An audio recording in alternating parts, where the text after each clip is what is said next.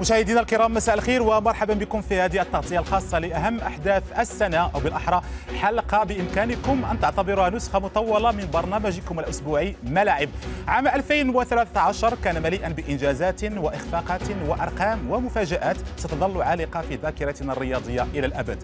أبرز محطة العام تستعيدنا طيلة الساعة التالية معي أنا علي القرني والنجم الأسبق لمنتخب تونس وفريق فرايبورغ الألماني زبير بيا والإعلامي الرياضي المصري أسامة الشيخ والإعلامي الرياضي الإماراتي كفاح الكعبي كفاح زبير أسامة مرحبا بكم. مرحبا. إذا عام 2013 كان عاما رياضيا بامتياز سنحاول قدر الإمكان التطرق لأبرز المحطات عبر أربعة محاور. نتحدث في المحور الأول عن العرب والمونديال خيبة الأمل العربية في التصفيات وكيف سترقص الجزائر وحيدة على أنغام الصمبا البرازيلية. الجزء الثاني نخصصه للفيفا كيف حولت الأزمات والانتقادات سيب بلاتر إلى موضوع سخرية وكيف كان عام 2013 الأسوأ في تاريخ الفيفا. جزء آخر من هذه التغطية سيركز على البطولات الكبرى التي استضافتها الدول العربية هذا العام ومدى استفادة العرب من تنظيم هذه الفعاليات. المحور الأخير سيكون عالميا بامتياز صفقة جاريت بيل سيطرة الألمان في ملاعب الكرة وحلبات الفورمولا 1 تألق غير متوقع لرجاء البيضاوي المغربي. من طبيعة الحال سنحاول التطرق لمواضيع أخرى. إن سمح لنا الوقت بذلك استعادة أبرز محطة عام 2013 نبدأها بهذا التقرير. نتابع.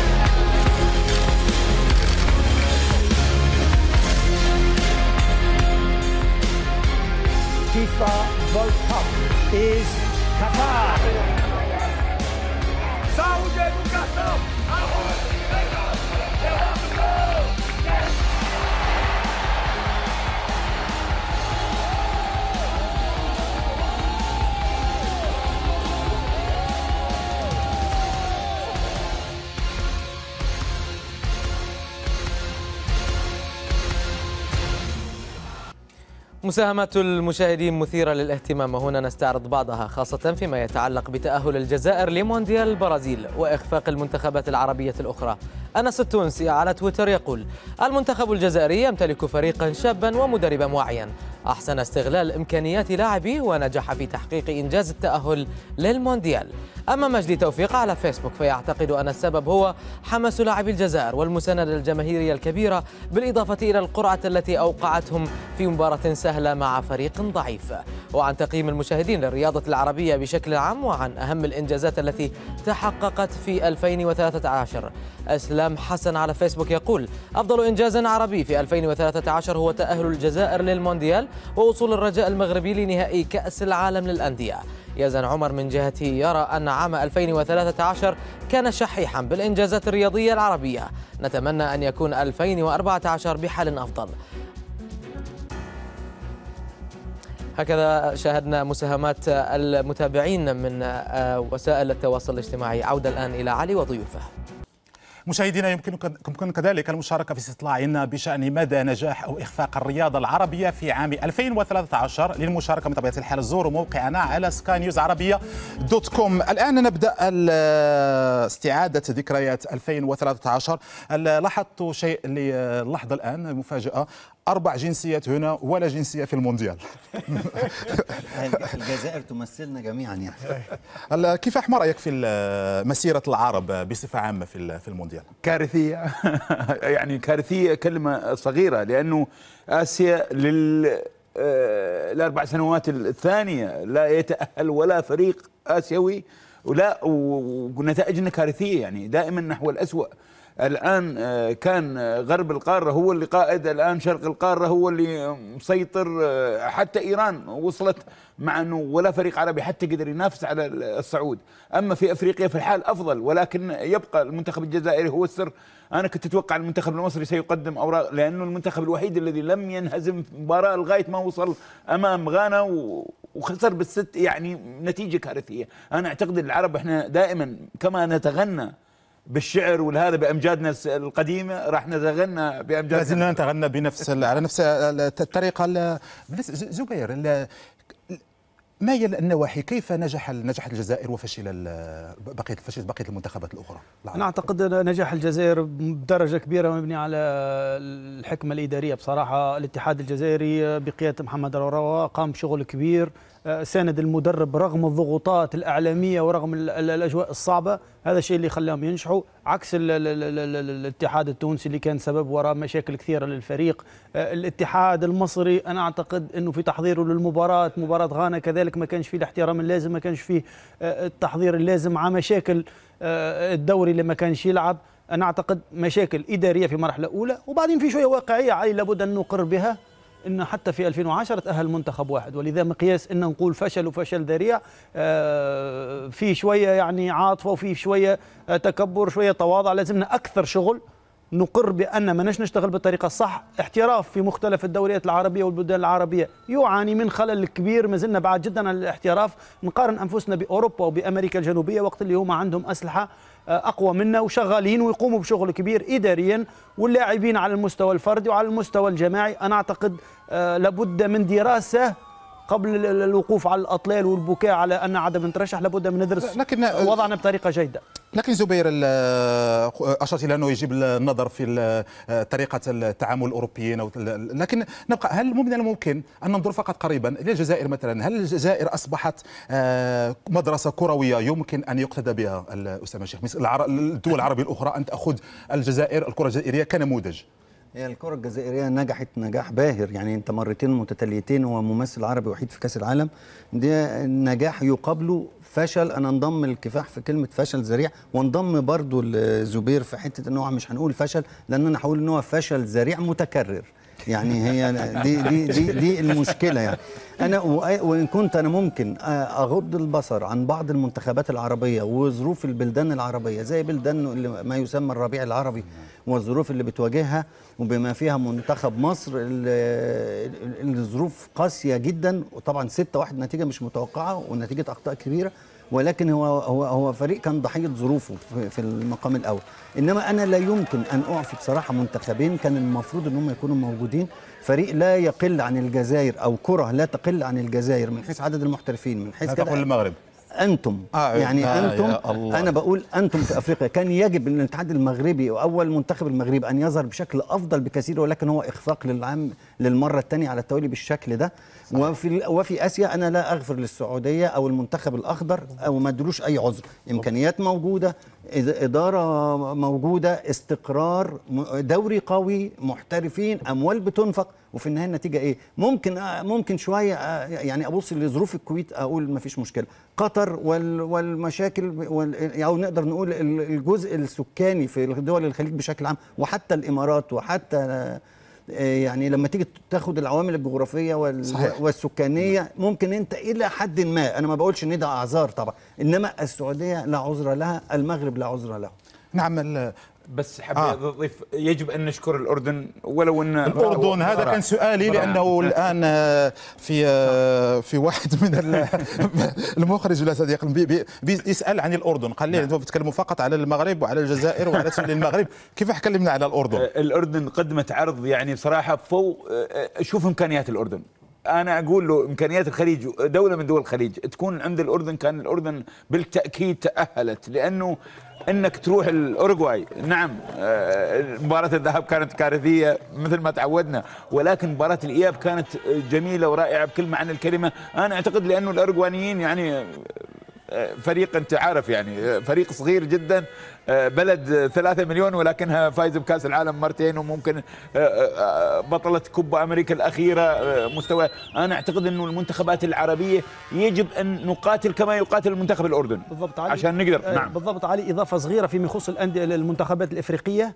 أنا أعتقد كذلك بعض الشيء كانت ضحيه التنظيم أو ال- منظومة المسابقة الجديده أو تنظيم التصفيات الجديد. يعني إنه آه، يتاهلوا 10 فرق وبعدين يلعبوا مباريات فاصلة. أنا أعتقد آه، تونس وال مصر. ومصر كانوا ضحية هذا الشيء. بعض الشيء بعض الشيء. يعني مش عذر ولكن بعض الشيء. زبير تتكلم عن تونس. تكلم لنا بعض الشيء عن محاولة تونس التأهل بفضل مجهودات الآخرين. لا لا هذا كان أمر خاصة بعد ما ما خسرنا من الكاميرون كان أمر يعني آه، داعي لل- للشفقة على الاتحاد التونسي اللي كان يعني آه، بصراحة حب يخفي فشله باحتراز على منتخب الكاميرون. ولكن آه، أنا أعتقد منتخب تونس كان مصير يعني منطقي لجملة المشاكل اللي كانت تحيط باللاعبين بالاختيارات بالمدربين وبالأجواء آه، حول الاتحاد التونسي وال- وال- والإعلام التونسي ونفس ما قال أستاذ أسامة يعني على الأجواء في تونس بصفة عامة أنا أعتقد آه، يعني نتيجة منطقية خلينا نقول والمنافس الكاميرون لابد أن نحترم ال- المنتخبات صحيح. هذه كذلك مش أن من غير ما نقلل من شأن الكاميرون وغانا كذلك بصراحة يعني مهما يكون غانا استحق التأهل على المنتخب المصري رغم أن عندنا خيبة أمل أنه المنتخب المصري والجيل هذا بالتحديد كان يستحق ما هو أحسن. لكن ال- الآن آه، تكلمنا عن الأردن تكلمنا عن المنتخب السعوديه تكلمنا عن تون- تونس المغرب. لكن الجزائر صراحة هي المنتخب الذي يستحق ال- الحديث أكثر لأنه ح- هو صاحب الإنجاز. الآن مع نهاية آه، سنه 2013 ندخل على سنة 2014 كيف تتوقعون أداء المنتخب الجزائري في المونديال في المونديال البرازيل؟ خاصة الآن كنا عرفنا المجموعة التي مع المنتخب البرازيلي. أسامة تتكلم أنا أنا أقول المنتخبات العربية همها الوصول إلى كأس العالم.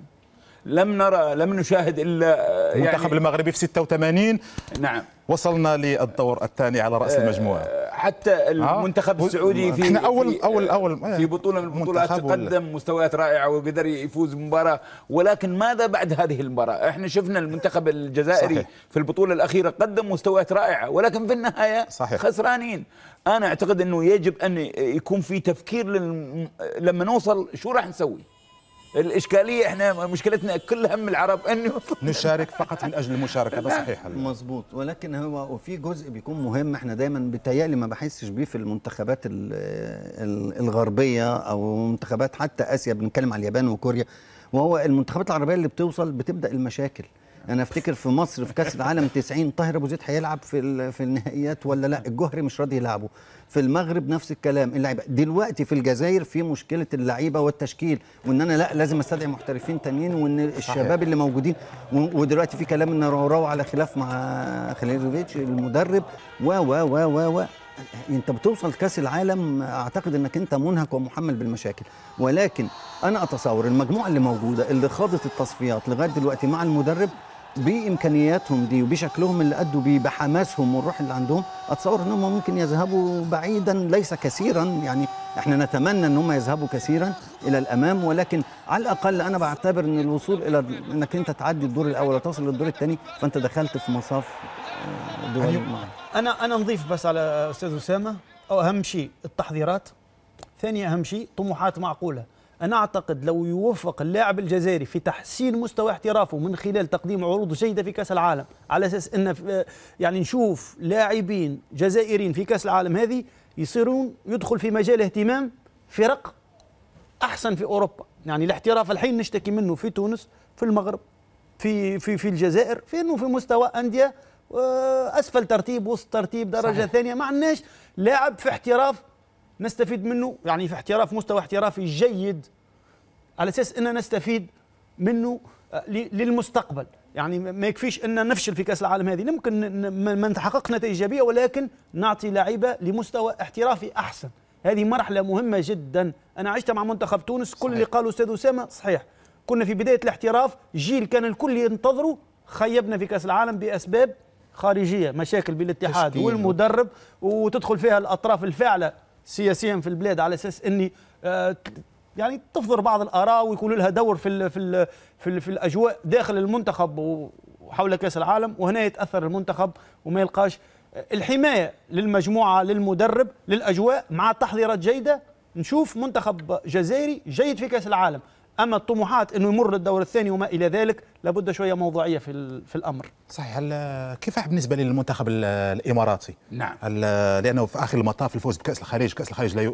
نعم. ليس مقياس لأنه ليس معترف حتى معترف به في في الفيفا، هل هذا الجيل الجديد نتاع ال- المنتخب الإماراتي ممكن أن يذهب بعيدا أن نرى في المستقبل لأن الزبير بيه كان بيتحدث عن مجموعة نعم. اللي كان ساهم فيها واللي كان فيها هو مجموعات الك- الكل كان ينتظر منها الكثير لكن ما أدتش في, ال- في المونديال هذا الجيل طبعا راح يؤدي أنا أعتقد إنه أفضل جيل يعني إحنا أفضل جيل كان عندنا في التسعين ولكن أنا لأول مرة أشوف منتخب أفضل من جيل التسعين لأنه نشأ مع بعض صار له سبع سنين مع بعض مدرب مواطن أداء جيد يعني تحس إنه في في فكر في الملعب في خطوط مت... في في في كل خط في نجم تقدر تعتمد عليه لذا مدرب موا...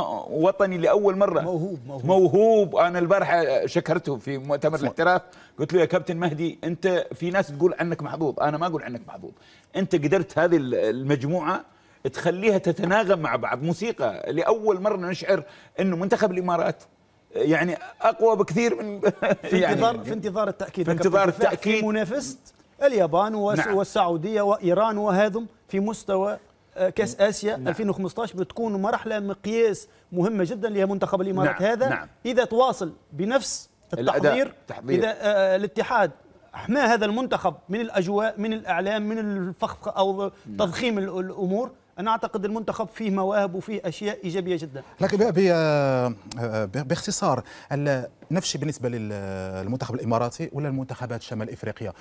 هل العيب في مع المنت بأن فشل المنتخبات العربية مثلا في إفريقيا؟ هل هو يعود لضعف هذه المنتخبات أم لقوة المنتخبات الإفريقية؟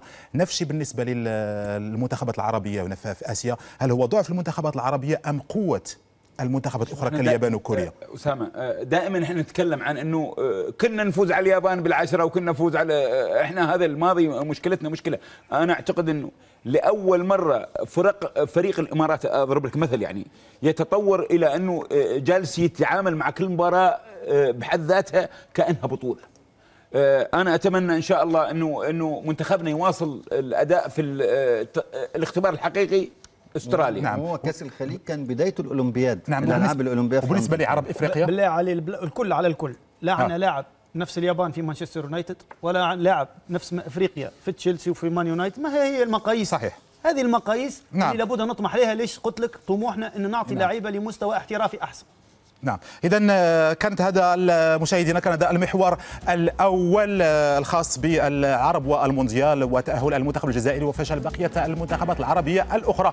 الآن نذهب إلى استراحة قصيرة بعد الفاصل. نتابع المحور الثاني من هذه التغطية والخاص بأزمات الفيفا.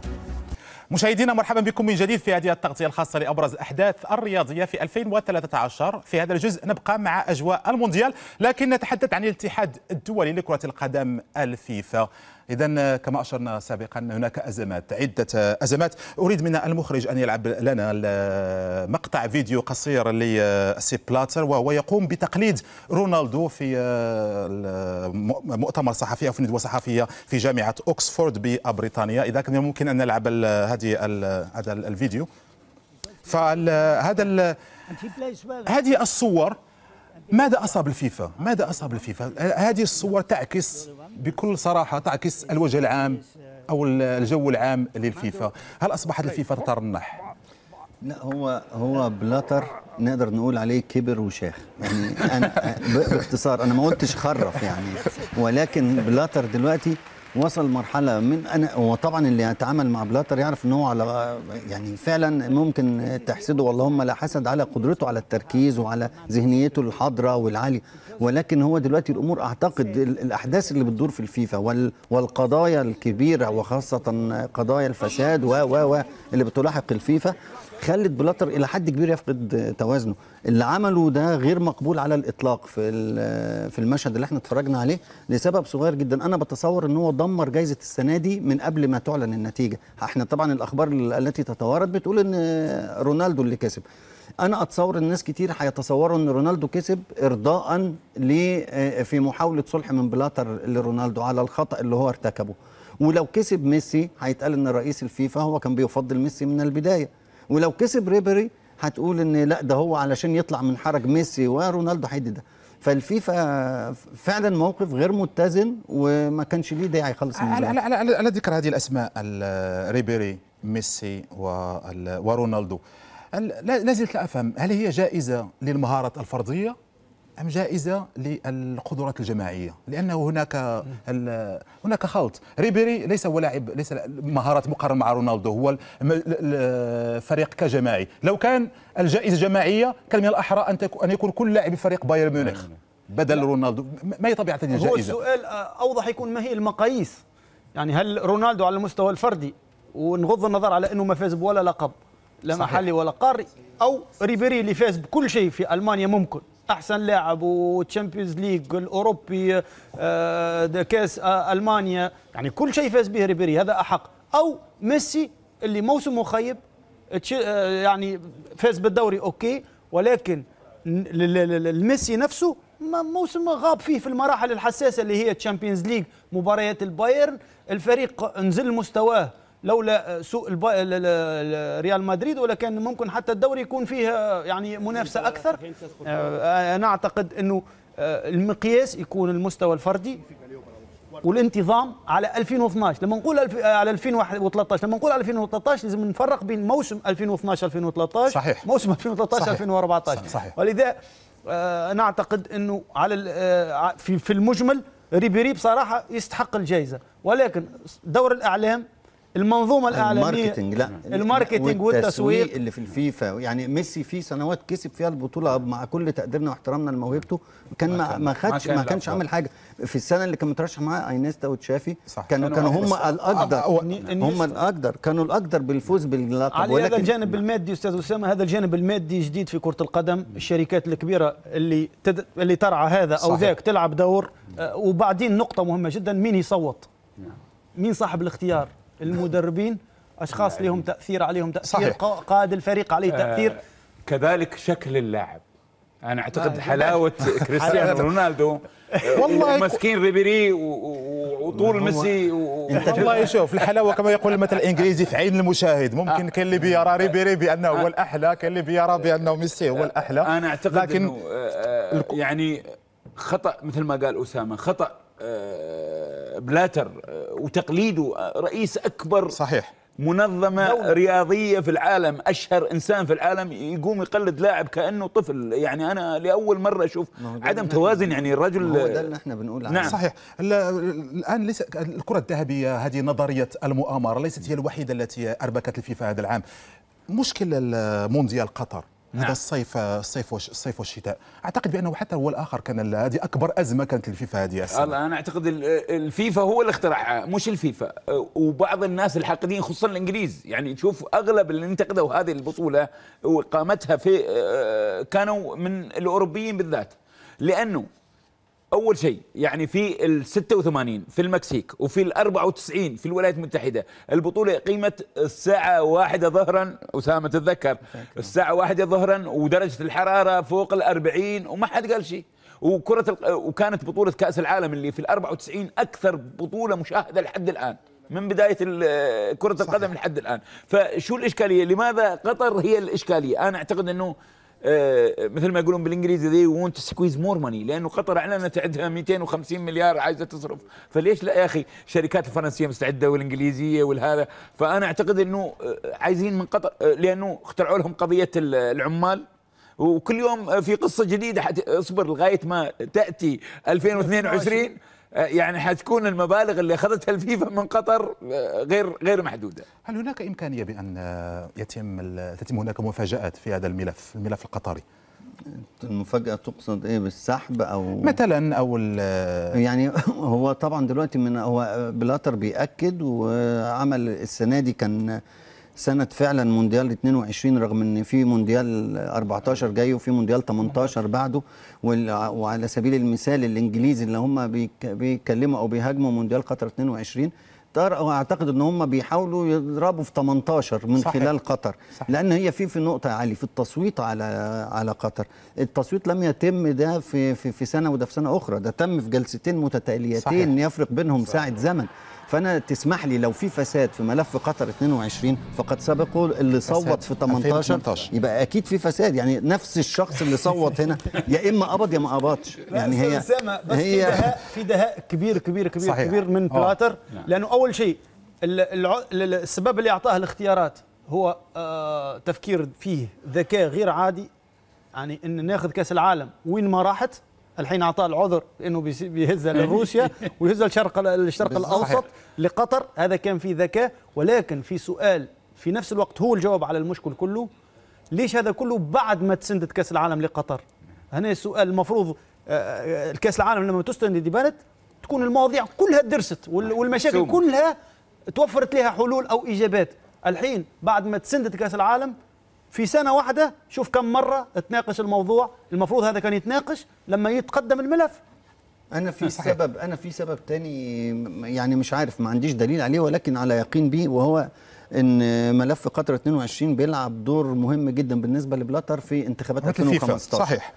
يعني صحيح. هي اللي حصل في 2013 ده عبارة عن تسخين هنخش بعد كده على السنة الجاية إحنا في البرازيل 2014 من المفترض أن يعلن آه، ميشيل بلاتيني موقفه من الترشح إذا كان هيدخل قدام بلاتر أو لا من هنا فبلاتر بيحاول إلى حد ما بطريقة الابتزاز المعروفة إن هو يحاول إن هو ممكن إيه، لأنه لأنه لا- أضيف حاجة أنا نعم. أنا أقول بالعكس أنا أقول الدوريات الآن الأوروبية بما أنه حنحولها من الصيف للشتاء أو من الشتاء للصيف لازم ندفع ثمن التحويل لأنه في بس. آه، قنوات حتنقل حتطالب حقوقها وفي إيه لأنه بدأت فلذلك- قنا- بدأت قنوات تلفزيونية نعم، خاصة نعم. التلفزيون الامريكيه بدأت تطالب لسه هقول لك الأمريكية التلفزيونات الأمريكية بالذات اللي هتغير بالنسبة للتوقيت والخسائر اللي هي بتدعي مين اللي هيتحمل فاتورة الخسائر لكن قطر. ز- ز- ز- زبير سؤال آخر الا يحق لقطر أن تقاضي الفيفا لو اجبرتها على نقل البطولة من الصيف إلى الشتاء لأنه في آخر المطاف قطر فازت باستضافة البطولة بطولة صيفية. لا, لا, لا, لا هنا في في تحفظ بعض الشيء لأن الفيفا هي اللي تنظم في دولة قطر مش قطر هي اللي تنظم. الفيفا اللي تنظم المسابقات نتاعها صحيح. آه ولذا الجزئيات نتاع آه الصيف والشتاء هي آه، يعني نقول إحنا نعم، بس- آه زوبعة في فنجان بس يعني في الأساس. السحب أنا أ- أشك فيها إنها تتم على الأقل في الفترة اللي إحنا فيها. إحنا مش عارفين السنوات اللي جاية إيه اللي ممكن يكون فيها أو إيه الملفات اللي ممكن يفتحوها تاني للبطولة. ولكن على الأقل دلوقتي لا. وأنا متخيل حاجة والنصيحه قلتها لبعض الإخوة في ملف قطر 22 انت ليه لغاية دلوقتي ليه دايما انت الحمل الوديع؟ ليه اللي انت عمال مستحمل النقد والانتقاد؟ انت وري وش شوية للفيفا. هذه الفكرة اشرت يعني أنا يعني انت دلوقتي أنا لو خدت دلوقتي أنا بيني وبينك عقد انت أسندت لي بطولة أنفقت فلوس أنا بقى دلوقتي اللي هبتزك. أنا لو سمحت عايزك تدفع لي فاتورة التكاليف اللي أنا اتكلفتها في الملف وتجهيز الملاعب والبنى اللي مش هتلزمني لو أنت خدت مليارات. الدولارات. وبالتالي أنت هتجبر الفيفا غصب عنه إن هو تقام البطوله في قطر. الف- الفيفا ال- الآن ال- هذا المونديال 2022 في مونديال 2014 شفنا كأس القارات. احتجاجات بالجملة. ملاعب كانت قليلة العدد منتخبات مشاركه قليلة العدد.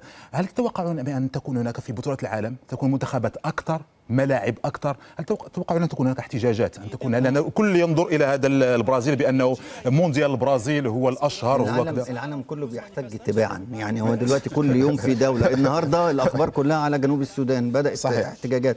وفي العراق شوية. وهنا العالم لا يتوقف وأتصور إن البرازيل من فيها جماعات برضو آه، مش حقوق إنسان ولكن هي جماعات ليبرالية ضد كرة القدم أو إنها شايفة إن آه، برضو بتطالب بالعدالة لا، هي الاجتماعيه بتشوف إنه في حاجات أهم بكثير ما أنا من بتكلم عن العداله. نعم، الاجتماعية نعم. ان نعم أنت كانت المفروض هذا من نظركم زبير أسألك نقطة- سؤال نقطة صغيرة قبل بس. نقطتك يا تفضل، يا زبير. كلاعب سابق هل هل تعارض مثل هذا التدخل الاحتجاجات في الرياضة؟ أنا اعارض آه، أكيد لكل واحد رأي ولكن آه، أنا أعتقد إنه آه، مشكلتنا الحالية واللي الفيفا أكيد لازم تلعب دور فيها هي فصل السياسة عن الرياضة بصراحة هي تسعى الفيفا لهذا ولكن تدخل السياسة ومحاولة استغلالها للرياضة وتوظيف الرياضة لاهداف أو لطموحاتها يضر كثير بالرياضة بصفة عامة مش بكرة القدم فقط ولكن تعقيب صغير على ملف. قطر لو سمحت علي موضوع بن همام أنا أعتقد نعم. أثر بشكل على ملف قطر بشكل مباشر أو بغير مباشر خاصة من بلاتر لك هل اشار أشاروا كم كم مره تمت الإشارة إلى المشكلة العمالة في نعم. قطر والملاعب؟ الآن في البرازيل في البرازيل في ملاعب تهدم. في ملاعب تهدم وفي ماتوا. ضحايا وناس تصفوا وناس وناس ماتوا. أنت- هناك ازدواجيات أنا- في المعايير؟ أنا وال- هقول لك على حاجة. استراليا وهو علي وكفاح بيتكلم على الإنجليز وإن هم دلوقتي والحساسية وال- واللي بي- بيفتعلوا المشاكل لقطر أنت ما تنساش ال- الشخصية سكرتيرة منظمه الاتحاد العمال. هذه الصور الآن آه، اتحاد سامي. العمال ال- هي استرالية. وأنا أنا في مسؤول في الفيفا. قال لي إحنا عارفين هي إزاي جابت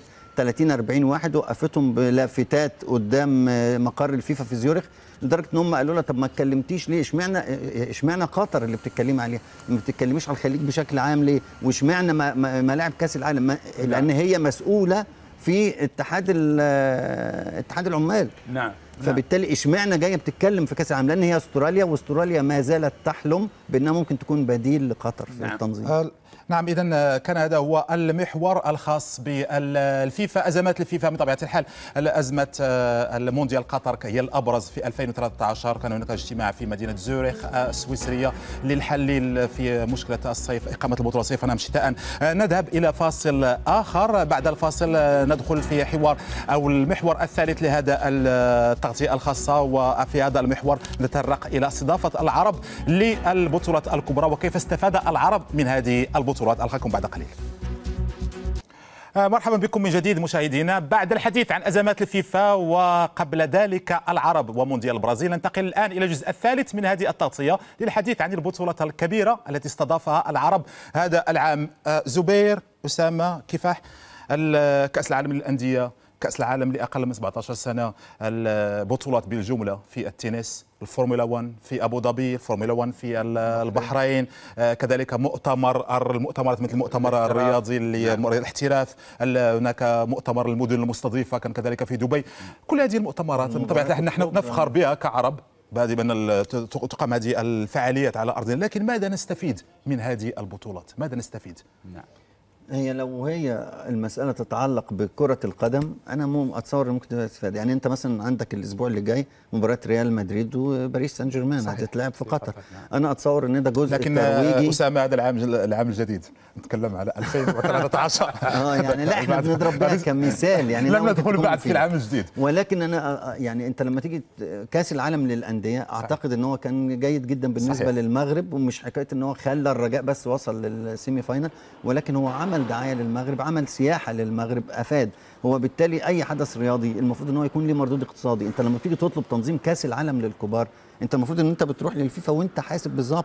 انت بتيجي تقول المغرب نفسه قال لك أنا لو كنت نظمت كاس العالم 2010 مكان جنوب افريقيا كنت اختصرت 14 سنة في تاريخ البنية التحتيه يعني في من عمر البنية التحتية اللي أنا محتاجها في المغرب.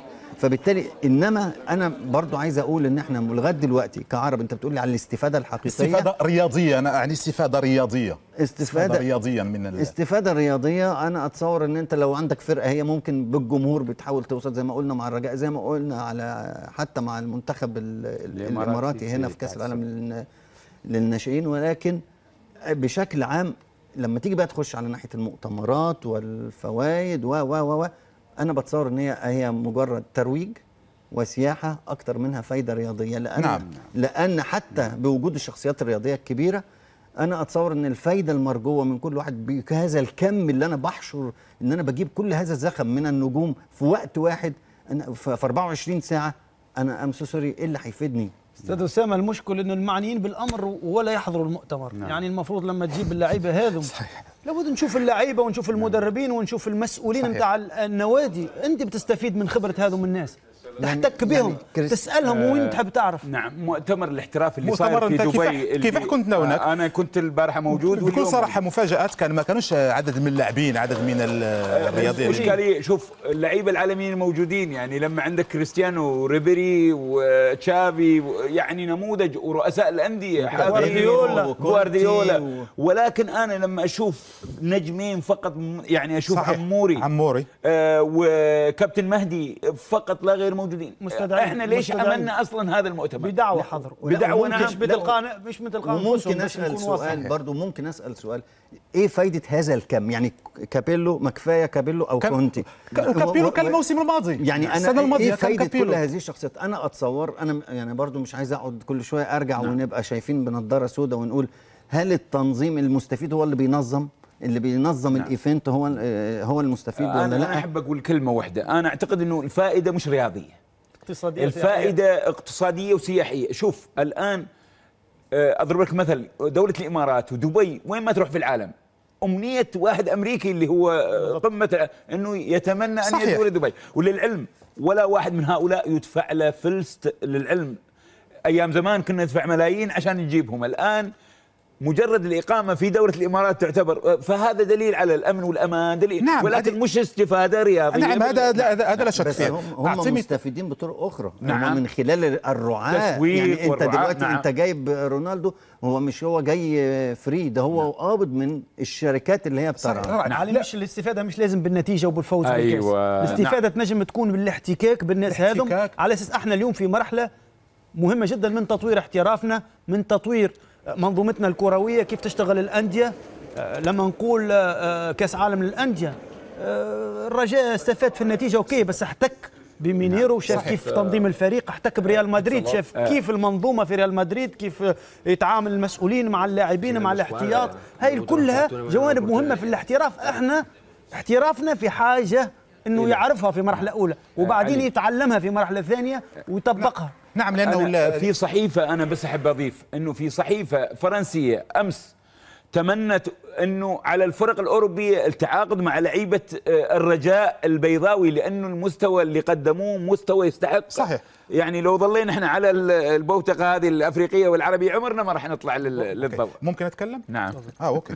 ال- بالنسبة لل مثلا في أولمبياد لندن لندن استضافت ال- الأولمبياد. بعد نهاية الأولمبياد كان هناك انتشار كبير لل- للرياضات هذه الرياضات الأولمبية. الكل كل خاصة اللندنيين الكل يريد أن يلعب إحدى ان يمارس إحدى الرياضات. الآن ال- الفورمولا 1 كل هذه السنوات لم نرى ولا ولا, ولا مواطن عربي مثلا يشارك حتى في الفئات الصغرى تاع الفورمولا هذا اللي كنت أقصده أنا بمدى الاستفادة. الاستفادة اصل أنت دلوقتي بتتكلم على جزء culture جزء ثقافة جزء ممارسة رياضة في مجتمع. ترى في كثير ناس عايزين يمارسونها ولكن أنت عارف سيارة الفورمولا كم تكلف؟ وبعدين أنت لازم يكون في. مليون وشوية السياره الواحدة تكلف في يعني. في رونو في كيا في في سيارات لا ومحتاجه لا هي هي صناعة ضخمة جدا. أنا نعم. أتذكر مرة في مارانيلو في شركة فيراري كنت بزورها. قال لي إن السيارة الواحدة السيارة بتجهز لكل سبع 10 مليون دولار. صحيح. أنت ف... أنا ما بتكلمش إن أنت مش هو كام كام نجم أصلا بيخوض سباقات الفورمولا في العالم؟ عشان تطمع إن يكون بينهم واحد عربي. أنت بتتكلم في 20 20 سائق 30 سائق 40 سائق. صعب جدا إن إحنا نقدر نزق آه، لكن علي في سائق عربي بينهم يعني. نعم في الزوارق البحرية عندنا أبطال عالميين أبطال زوارق عالم، البحرية. نعم. في الخيول في الخيول عندنا أبطال عالميين صحيح في وفي القدرة بالذات لكل يعني لكل مجتمع يعني. لكل مجتمع عنده خاصيته بعد تلعب دور أنا أرجع تاني وأقول لك إن المسألة في الاستفادة إنها ما تبقاش بس المؤتمرات عبارة عن سياحة وتباهي وإن أنا ب... واستفادة حتى مادية أو اقتصادية من ترويج الأوتيلات و و و لا أنا دلوقتي مؤتمر زي اللي اتعمل امبارح والنهاردة ده أنا كنت اتمنى ان أنا بقول لك نص الضيوف يحذفوا مع كل التقدير والاحترام ليهم واجيب النص ده كفايه واطول المده مش في اليوم ونص دولت. بدل بدل ما رونالدو يقعد 10 دقائق تقريبا 10 دقائق 10 دقائق 5 دقائق 10 دقائق عشان يضحك. أنا استفدت بيه اتفرجت عليه خدت معاه صورة بال- بالموبايل. أنا كنت عايز افهم منه اتكلم معاه كنجم. طبعا أنا أنا متصور ان انت ممكن عند النجوم اللي من طراز كريستيانو رونالدو مش هتلاقي عنده حاجة تفيدك. قد ما ممكن تتكلم مع كابيلو ويقدر نعم. يفيدك. قد ما نعم. تتكلم مع كونتي. مع آه، جوارديولا. بس أنا السنة أنت حضرت أنا حضرت لأول مرة أستفيد من كريستيانو. أنا مدريدي خالص ولكن لأول مرة في حياتي عارف مدريدي. آه، اللي مدريدي حتى النخاع طيب إيه اللي استفدته من استفدت إنه الراجل ده بالإضافة كنت فكره مغرور أنا ما أحب يعني ميسي متواضع هو مغرور. نعم. ولكن في, آه، في الجلسة هذه كان قائد الجلسة مين؟ كولينا. كولينا. كابتن كفاح المشكل مش فيك انت المشكل في اللاعب. حاجتنا اللاعب يستفيد.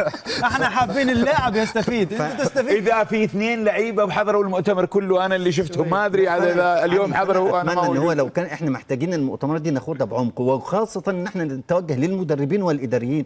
أنت بتتكلم عن الرياضات في لندن وإنها المفروض إنها تنتشر. إحنا نفس الكلام. إحنا بتطلع عندنا موضة عندنا مت- حد كسب في المبارزه بن- بنقعد شوية كده مبارزة مهتمين. في ملاكم طلع جزائري الناس خلاص بت- بتمشي وراه يمني. بعد كده خلاص بتنطفي. لسبب إحنا ما فيش فيجن ما فيش رؤية طويلة المدى بتخطط للرياضة صحيح. بتنظم ال- وهذه المؤتمرات والفلوس اللي بتتصرف عليها يجب إنها تكون داخلة في إطار خطة شاملة إن أنا بطور الرياضة. بقى عارف هدفي إيه من المؤتمر؟ مش سايبه لشركات تسويق هي اللي بت- بتنظم ال- المؤتمرات يعني.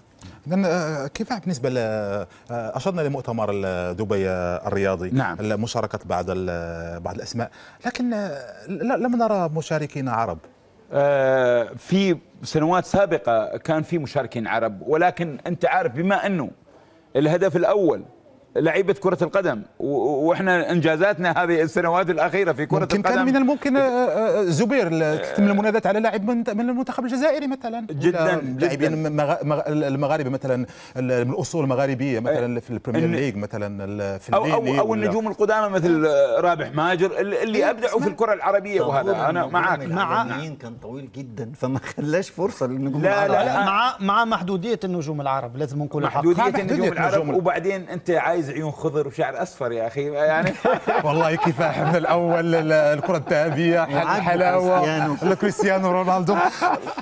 قصة كيف مع كريستيانو رونالدو كفاح؟ كريستيانو أنا آه، المرة هذه اللي أعجبت فيه لأنه راجل مواظب. قال لك أنا صار لي ثمان سنين كل سنة أقدم عرض أفضل لأني إنسان مش معتمد على شكلي ولا أنا مواظب على التمارين أنام آه، مبكر. بيشرب اللبن بين لا لا. والشامبو اللي يستخدمه. كويس.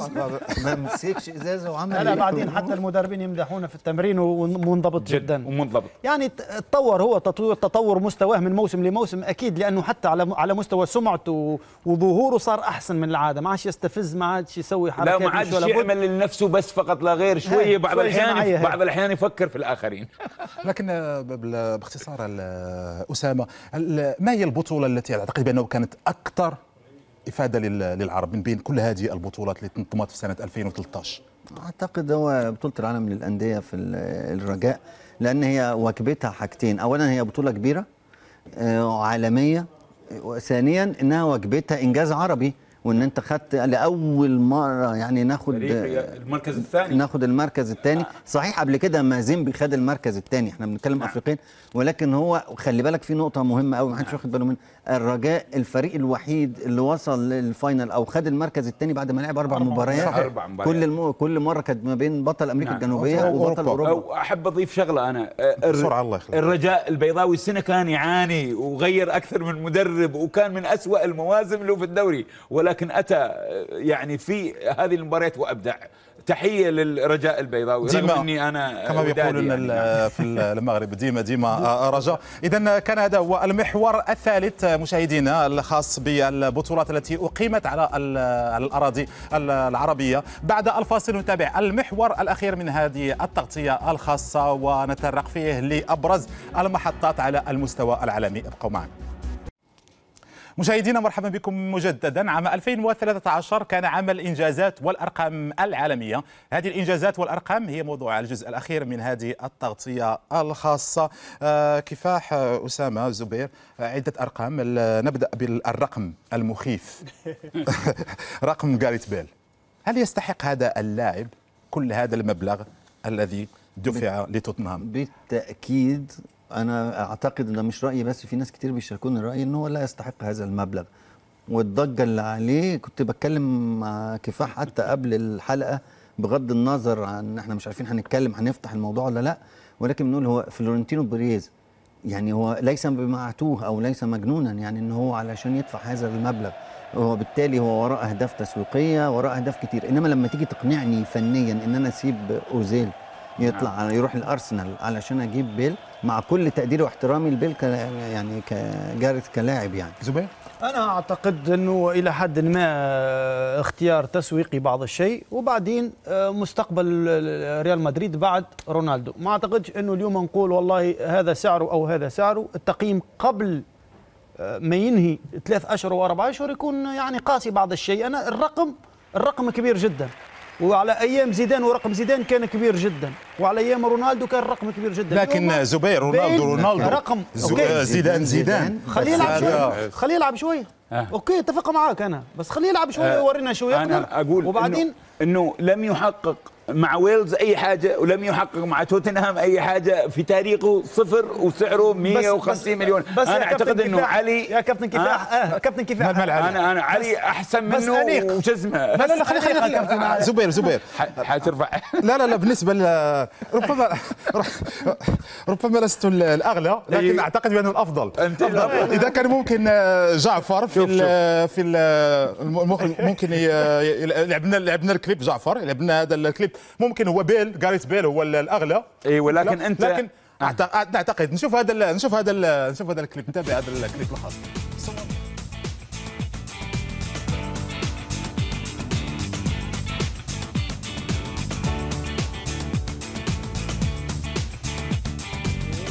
شوف شوف شوف شوف المهارات. شوف وشوف وشوف من سيتوج أخيرا. شوف. آه شوف شوف ومن سيتوج أخيرا.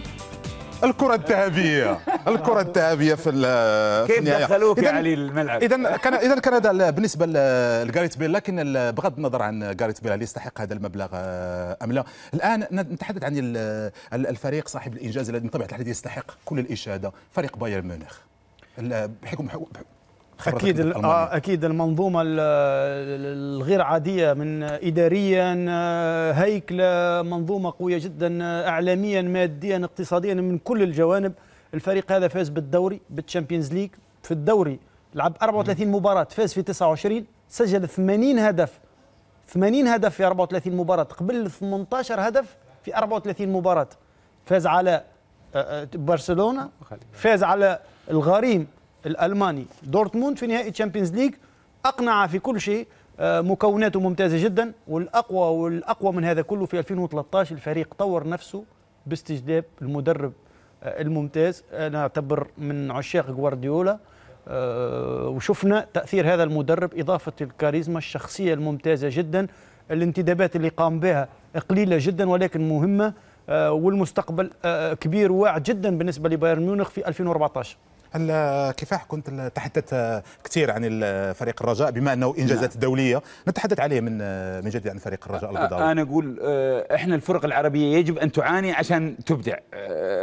أنا أعتقد فرقنا لو أتيحت لها الفرصة هؤلاء النجوم يعني في عندك أو ثلاثة أو أربع نجوم مثل ما تحدثت الصحف الفرنسية إنه يستحقون اللعب في أوروبا. إحنا ال- ال- النماذج هذه اللي موجودة لو نهتم فيها الاكاديميات لو ما نجعلها تجارية مثل اللي عاملينه الآن لو نركز على هؤلاء كيف اليابانيين قدروا يوصلون دائما نتساءل إحنا كيف اليابانيين قدروا يصيروا رقم واحد في آسيا لولا العمل شوف الأوروبيين إيش عاملين العمل بس صحيح. كابتن كفاح صحيح. اسمح نعم. لي نعم. اللاعب لابد إنه يطور نفسه ويجتهد أكثر أنا نشوف المنتخب المصري لما نشوف أنا نسمي بالتحديد أحمد فتحي أنا من عشاق هذا اللاعب لاعب موهوب متكامل جدا بس إنه اللاعب لما يمشي أوروبا لابد إنه يجتهد شوية في التأقلم مع العالم صحيح. مش العالم صحيح. هو اللي يتأقلم. معه أنا عشت نعم. التجربة ونعرف. عندنا لاعبين موهوبين عندهم إمكانيات بس الاحتراف يحتاج لتضحيات نفس يحتاج لفكر. نفس الشيء كان صار مع عمرو زكي لما كان كان يريد أن الفريق أسماء يتاقلم عدد كبير. أسماء لا- كثيرة. لا تحدثنا عن فريق آه، بايرن ميونخ تحدثنا عن فريق الرجاء لكن نبقى المانيا. بالنسبة لسيباستيان فيتيل ما سر هذه السيطرة الألمانية؟ هذا ال- ال- السيطرة الألمانية على كل قبل حاجة. ما تخش على السيطرة. آه. دي نتذكر حاجتين في السيطرة الألمانية في الكورة برضو آه، لسه. آه. ال 4 0 و 4 1 صحيح. دورتموند صحيح. على الريال. وبرشلونة و- مع أنت مع بايرن ميونخ. فعلا آه، موسم ألماني بامتياز. وتخش بقى على على الفورمولا 1 على الفورمولا طب وأنت ليه ما بصيتش قبل كده لل background مايكل شوماخر؟ مايكل شوماخر. على فكرة مايكل شوماخر في العالم. في المستشفى الآن اصيب. أصيب كان يتزلج في فرنسا فأصيب في عندهم المستشفى. تقاليد عندهم تقاليد الرياضة هذه وعندهم أبطال من قبل ومن اللي صغير يكون يعني آه، غرام كبير للفورمولا الفورمولا واحد و- ومع الوقت عندهم الإمكانيات أكيد بس العقلية الألمانية بعد. الطريق إحنا لسه بنتكلم أنت نفسك طرحت سؤال قلت ما فيش ما فيش حد آه، ليه بيطلع سائق نعم، عربي؟ نعم. الطريق مغلق قدامه إنما أنت هناك زي ما زبير بيقول هو طبعا عارف دلوقتي إن هو هيطلع هيروح المكان الفلاني النادي الفلاني اللي بياخده بيشوف فيه الإمكانيات وبيقيس له قدراته البدنية والصحية. نعم. لا نبقى مع ال- الأحداث العالمية اللي كانت في 2013 لن نتحول آه، في دقيقة بالنسبة لي اليكس فيرجسون استقال لكنه أصدر كتاب نعم. انتقد فيه اللاعبين الذين صنعوا امجاد صنعوا أمجاده. انتقد فيه هذا اللاعبين. هل كان يحق لأليكس فيرجسون أن ينتقد اللاعبين في هذا لماذا لا؟ وهو قادهم 26 26 سنة. موسما. شوف الآن مستوى آه، آه، مانشستر يونايتد. ليس هذا مانشستر يونايتد اللي تعودنا هذا المدرب آه، أنا أقول يجب أن يتعمل له تمثال، هو أصلاً عنده هو تمثال. عنده تمثال آه، 26 سنة أتمنى العرب يصرون على واحد لازم يعملوا له 26 تمثال علي بس تعق... آه، إنجازات 2013 كذلك عربيا لابد أن ننوه بالأهلي المصري فاز بدوري أبطال إفريقيا صحيح. نعم. آه رغم الصعوبات ورغم كل شيء إنجاز كبير جدا لمدرب كذلك مصري صحيح. آه النادي رادس صفاقسي فاز بكاس الاتحاد الإفريقي أسامة الملولي أسامة الملولي بطل أولمبي. آه، نعم هذا الرجل اللي يجب بنياس أن نعم. عربيا فاز بكأس الخليج نعم. يعني في بعض الإنجازات اللي تفتح صحيح، الشاهية صحيح. وما نقولوش آه، يعني سلبيين جدا ولكن الطموحات دائما تكون أكبر الأهلي مش أنا بعتبره إعجاز مش إنجاز إنك أنت برافو. تكسب دوري أبطال. أفريقيا سنتين متتاليتين في ظل عدم. وجود صحيح. نشاط كل المشاكل تغيير المدربين والأجواء في آه الدوري تغيير المدربين على على ذكر تغيير المدربين في أوروبا تقريبا تغيير تغيير بالجملة كلهم الأندية ريال مدريد مانشستر يونايتد نعم. تشيلسي آه، علي توتنهام، مدربين. علي إحنا عديناهم. لأنه تغيير سبع مدربين من 14 مدرب في الدوري الإماراتي قبل انتهاء الدور الأول. لا وفي قبل بداية الدوري. وفي قبل الدوري. وفي مدربين ولكن, ولكن علي فيما أغرب آه. في اللي فاز بكل شيء وتغير نفس صحيح هاينكس صحيح. آه، ولكن لكن هذا هاينكس أعتقد بأنه هو الذي اعتزل. لا لا لا كان ممكن يواصل. ممكن يواصل بس تفرض عليه القرار ولكن في الأخير إحنا عربيا ما نقبلش إنه مدرب فاز بكل شيء وسوى كل شيء وبعدين تغير ولكن مستحيل. هذا تغيير نعم. من غرائب كرة القدم إنه كان للايجاب وليس للسلب نعم آه، زبير أسامة كفاح قبل ختام الحلقة أعود من جديد لآراء المشاهدين على منصات التواصل الاجتماعي حول اللاعب الأحق بالكرة الذهبية لعام 2013 وأفضل لاعب عربي وحول سبل تطوير الرياضة العربية العام القادم مع الزميل أحمد السيد نعم علي مساهمة المشاهدين لا زالت تصل عبر مواقع التواصل الاجتماعي هذه المرة حول اللاعب الأفضل بعام 2013 سلمان سليطة على فيسبوك يقول الجائزة تمنح للاعب الفردي وكريستيانو رونالدو يستحقها لما قدمه لريال مدريد والمنتخب البرتغالي. محمود النخيلي من جهته يرى أن الفرنسي فرانك ريبيري حقق مع بايرن خمس بطولات ولعب دورا كبيرا في تأهل المنتخب الفرنسي للمونديال. أما عن أفضل لاعب عربي في عام 2013 عصام أنور على فيسبوك يقول أبو تريكة هو اللاعب الأفضل لهذه الجائزة فهو لاعب خلوق ويستحق اللعب قاد الأهلي المصري لنيل البطولات. سيف الدين بوكابو من جهته يعتقد أن الجزائري مجيد بقرة هو أفضل لاعب عربي لأنه لاعب قاد منتخب بلاده للتأهل للمونديال للمرة الثانية على التوالي. أما عباس الحساني فيرى أن المغربي مهدي بن عطية لاعب روما الإيطالي هو أفضل لاعب عربي لأنه مدافع من طراز فريد. أخيرا على سبل تطوير الرياضة العربية حمدي بغرارة على فيسبوك يقول يجب البدء من أعداد خطط للاهتمام بالنشء وأعدادهم أعدادا علميا وسليما. نعود إلى علي بعد هذه التصريحات والتعليقات من فيسبوك وتويتر. شكرا الزميل أحمد أسامة زبير كفاح. شكرا لكما كالعادة أمتعتونا. شكرا شكرا لك. إذا مشاهدينا الكرام أتمنى أن نكون قد نجحنا خلال هذه التغطية الخاصة في تناول أبرز محطة عام 2013 أتمنى لكم جميعا سنة جديدة سعيدة مليئة بالإنجازات العربية الرياضية. في النهاية أودعكم على إيقاع هذه اللقطات الطريفة. أستودعكم الله.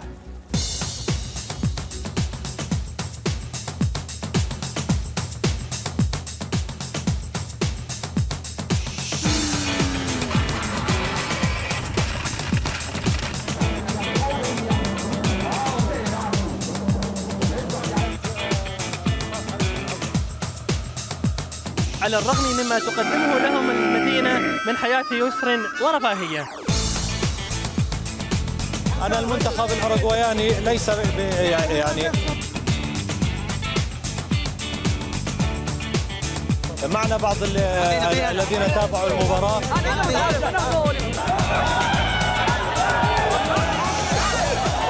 آه، كما ترون حالة حالة ليس فقط من الإحباط بل من ربما الفوضى حولي من الجماهير.